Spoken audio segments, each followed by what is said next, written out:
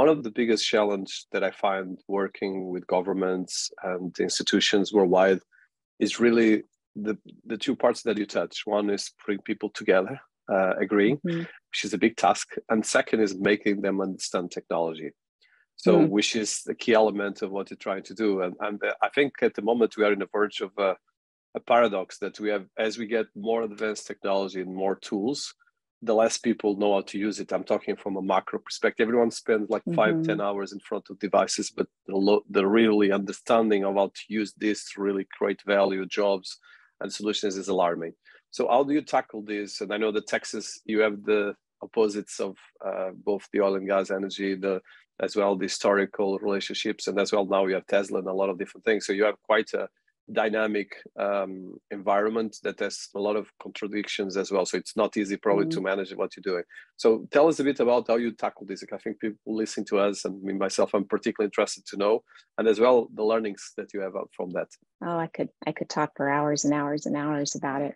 But I think eh, to your point, making sure that everyone understands the why uh, you know and and why one why we're doing this and why we're using these particular tools to be the catalyst that solves the solves the challenges. And one thing that we hear a lot from our members is i just can't get my city council to understand why i need this funding for something they don't understand.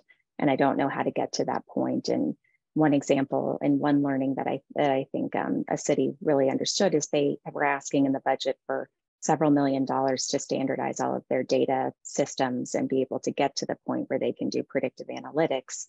And the amount of money they weren't I don't think that particular department understood storytelling or felt very confident in how do you illustrate why that much money is necessary and what that means. Council members just said, I can't see it. This this doesn't make sense to me. I need to fill potholes.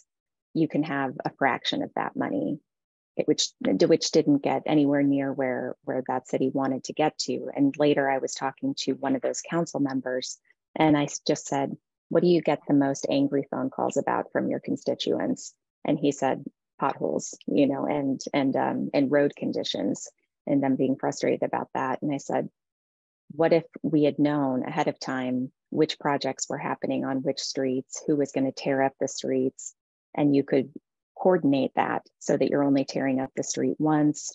You could predictively know when the streets were going to need repair so the potholes didn't happen and what if that was something that that reduced calls? And he goes i mean that would be incredible. I said that's what that project would have done. It would have allowed the systems to be able to talk to each other in such a way that it makes you look better from a reelection standpoint. And he said that that's what that would have done. And i said yeah. He's like i wish i'd understood that. And so again that speaks to how do you get those that are making the decisions to really understand what these investments mean, particularly when you can't see them. One of the challenges, too, of technology and smart city solutions, which I know Brandon knows very well, and certainly in our projects, we always it's always better when we can give tours because most smart city technologies you can't see with the naked eye. You're not going to notice that these sensors are in the ground or, or different things like that. What we hope is that they recognize that their quality of life has gotten better. Maybe their commute has gotten five minutes shorter, maybe because of efficiencies with traffic signals.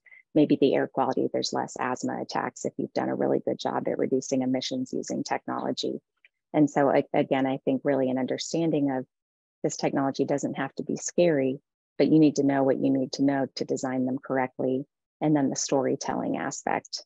Um, and, and the one other thing I'll, I'll point out with all of the emerging technology, particularly AI, and I think you know everyone is aware of this, but those can be very scary technologies to residents. A lot of folks think that the, the camera systems are going to profile them, they're watching them.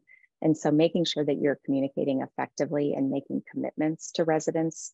Here's how we're protecting your data. Here's how we're using it. Here's why it benefits you. And here's what we will never do with this data. And just making sure that the community embraces those, uh, those strategies as well. I'll take a breath there. Oh, congratulations, first of all. I know that it's very difficult and, and really key element. And I, I, love that you mentioned storytelling and as well education, because in the end of the day, a lot of these things is the way you tell things.